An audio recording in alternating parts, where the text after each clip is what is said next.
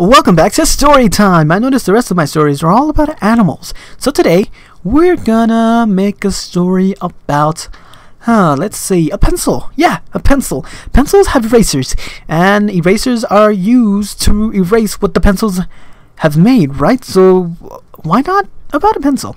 Okay, so one day there was a pencil in a cup.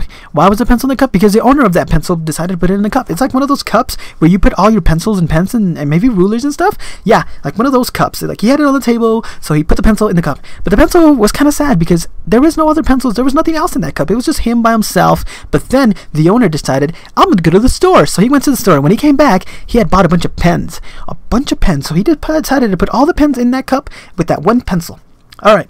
So the pencil was happy that finally it had other uh, uh, pens or pencils or whatever. Like it was had other objects in the cup with him, with him because he was by himself and he didn't like being alone. Yeah, this pencil was kind of like oh, all depressed and stuff because he was always alone. But now that he had pen friends, that uh, he was gonna be happy. But it turns out all those pens were jerks and yeah, it was awful. Like they were all mean to him and called him names because he was the only pencil there, and they were all pens. They all looked the same. They were all the same color and everything. They were black uh, pens, and uh, well, there were some blue ones and some red ones because he bought a variety of pens. But they were all pens, and they were all uh, mean to the pencil. So one day. Uh, he somehow flipped the cup over and he fell and then he rolled onto the ground and the owner stepped on him so he broke in half and uh, the pencil was was was was nowhere, never seen again. I guess he like broke in half, so the owner threw him away. Then, after a while, the owner bought a bunch of pencils and put them in the cup.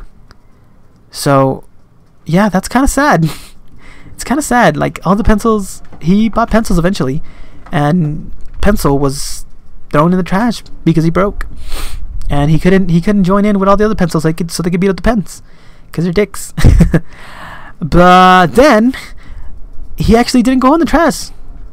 No. His owner put tape on him and then he put him back in the cup and he was happy. Because that's this that's just the world Pencil wanted to live in and and he finally got his wish. He had friends and they were gonna fight the pens. And there was more pens and pencils, so it was gonna be like an all all out war and stuff. Yeah, it was gonna get pretty crazy. Pretty crazy.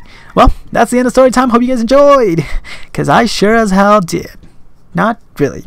What the fuck am I talking about? I guess it doesn't matter. Goodbye.